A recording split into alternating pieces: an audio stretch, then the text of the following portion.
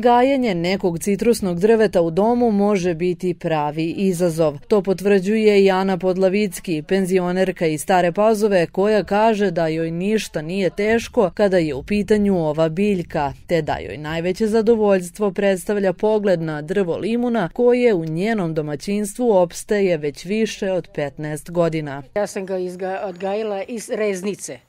Znači iz reznice se posadi u jesen i do proleć pokrije se i do proleća ono pusti žile. I onda izraste jedna velika biljka. Znači, nakon tri godine on procveta, rodi i to je to. Preko zime se unosi unutra, ako, im, ako je jaka hladna zima. Inače, može da izdrži do minus 2, 3 i na polju. Sa svog drevetana dobije i do 5 kg limuna, a koristi ga isključivo za potrebe u svom domaćinstvu. Kaže da se od ovog domaćeg prave najukusniji kolači pije najlepša limunada i da upravo on ima najlepšu mirisnu notu.